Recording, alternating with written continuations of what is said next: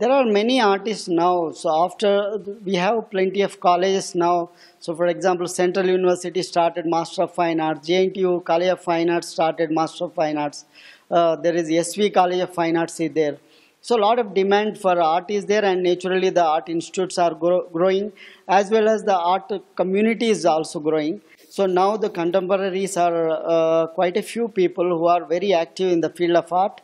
So they are exhibiting all over the world and uh, staying uh, Hyderabad as a base like uh, Chippa Sudhakar, Chintala Jagdish, Laxma Goud, Vaikuntham is the seniors, naturally Surya Prakash, Ravinder Reddy, world-renowned sculptor, DLN Reddy who is much more creative, is uh, called as Picasso of Andhra Pradesh.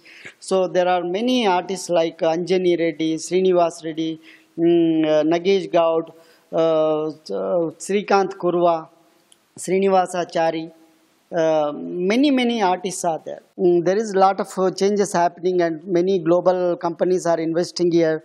So there is a lot of demand growing uh, towards art